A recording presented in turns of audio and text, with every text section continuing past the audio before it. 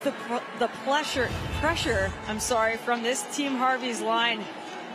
We've got the sonnet chance on net and Gen Lacasse just diving across. Cat like